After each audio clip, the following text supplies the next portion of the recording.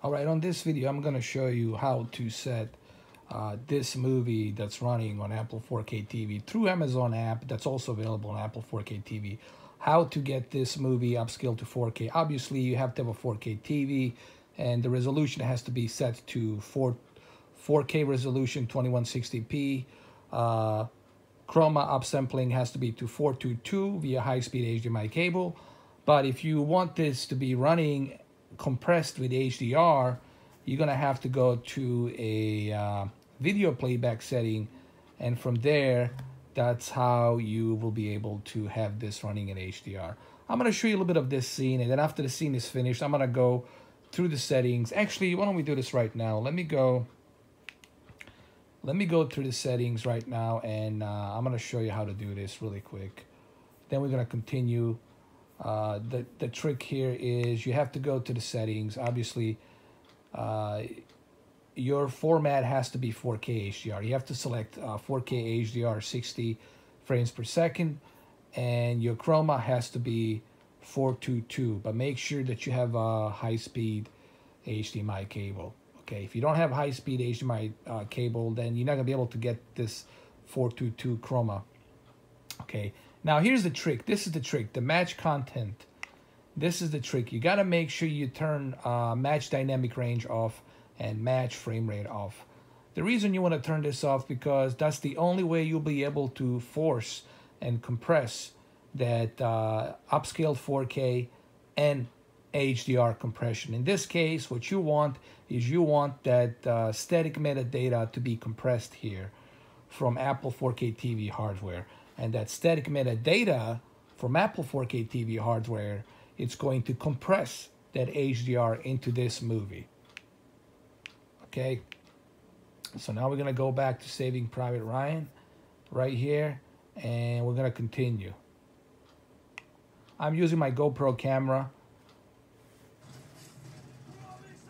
And as you can see, uh, the color just pops and the HDR is present here. You will see it in a minute. HDR is right there, HDR UHD. It's a 1080p upscale to 4K with HDR. So you will see HDR right here. There it is. It shows up right there on the, on the top right corner. And it really, it, the movie comes to life. It really uh, pops with color. Now, for those of you who would like to have this uh, soap opera effect, and how do you get the soap opera effect on Saving Private Ryan? Well, it's simple. You go to the settings right here on the uh, and click to automatic uh, automotion plus. Leave the automotion plus to automatic, and that's about it. always leave it on automatic. As you can see, the color here pops uh, pops big time here. Uh, look at the color here. This is all due to the HDR compression. That HDR compression. You see stuff that you like sometimes didn't see previously on a movie, and it's really amazing that the amount of stuff that you can see with the uh, HDR compression here, and uh, it's really good, man.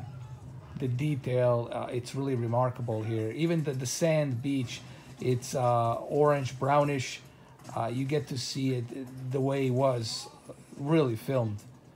And uh, it's it just brings uh, it brings this movie experience a little bit better than as if you were to watch it just like with uh, its standard uh, dynamic range.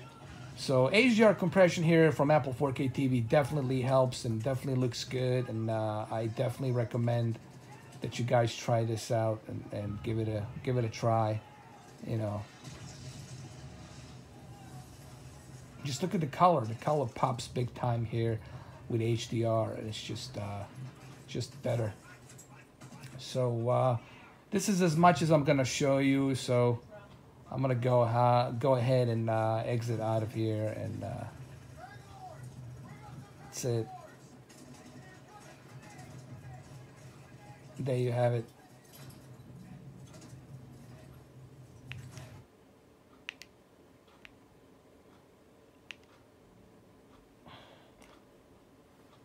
And that's the one unique thing about Apple 4K TV. You know, uh, it's going to compress. Um, you know, even if you're watching James Bond, like for example, if you watch James Bond and James Bond, you know, it's in 4K, but it's not in HDR. But no problem, since we have the HDR compression here, we can still watch that James Bond in HDR compression. For example, use the let me use the voice on the uh, Apple, which is right over here, the voice 007, and I'm sorry, 007 and it's going to show up here.